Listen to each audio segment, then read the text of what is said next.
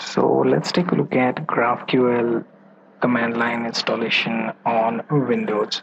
Okay, so what I'm going to show you right now is uh, how to get your GraphQL installed on Windows with the help of command line. Okay, so basically what we're going to do is we're going to check yarn or even your GitHub for process on installing GraphQL CLI or command line interface on system. So first thing, go to yarn or even you can go to npm and type in GraphQL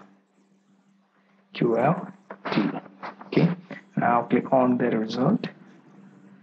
Okay, and right hand side you will find yarn and GraphQL CLI command. So just open your command prompt and type here yarn then global add and then you can type in graphql dash okay if you choose to go through npm route you can do the same with npm install dash g graphql dash okay either way you will find that graphql CLI will be installed. Okay I choose yarn method because I'm comfortable with yarn's method of installation and it's much more uh, quicker than irregular npm which often has errors and other issues. So i'm using yarn for this. Next is to navigate to directory where i want to make use of graphql. So by default when you type in graphql in command line should show you list of available commands. Okay so as you can see these are some of the commands that you can use okay?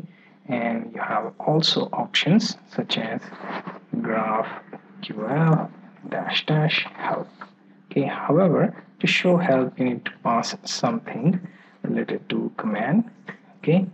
So that being said you can also check out help on GitHub's GraphQL page.